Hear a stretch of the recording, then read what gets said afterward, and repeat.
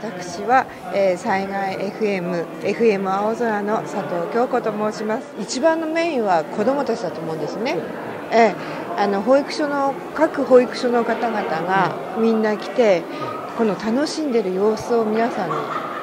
教えてあげたいかなと。教えるって言ったらなんか上目線なんですがあの伝えたいなっていうのがありますけど、うん、笑顔いっぱいじゃないですか。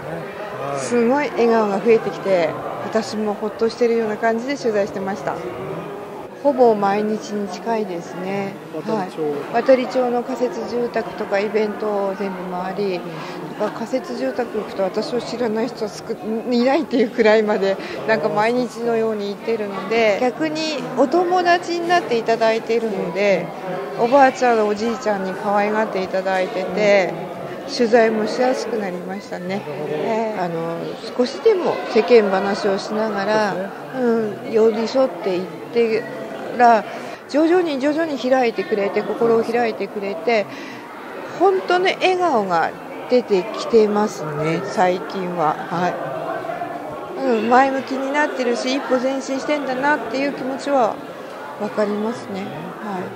例えば取材に行くじゃないですか。そうすると何を聞いてきたのって私意外と聞くんですよ。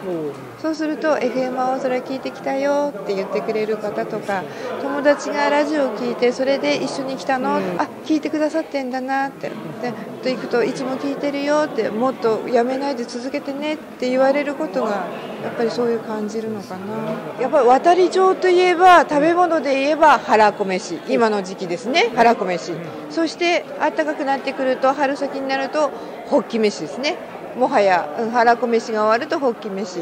食べ物で言えばそれですかね。あとは人で言えばあったかさ。本当に私はおじいちゃんおばあちゃんとかでお話しさせていただきますが